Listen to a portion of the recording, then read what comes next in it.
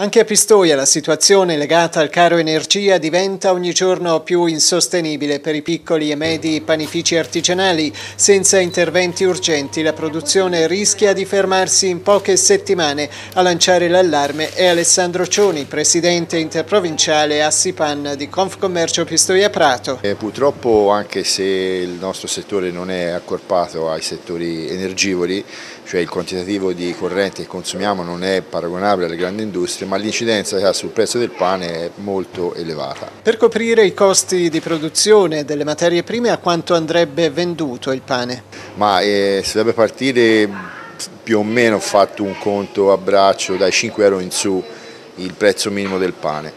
Quanto sono aumentate le bollette rispetto allo scorso anno? Ma um, sono, in media sono raddoppiate e triplicate a secondo del gestore. Per ogni mese abbiamo speso l'ultimo mese circa 600 euro di gas e quasi 3.500 euro di energia elettrica, considerando che le, prima di tutti questi rincari si attestava un consumo sui 150 di gas e 1.500 di corrente elettrica.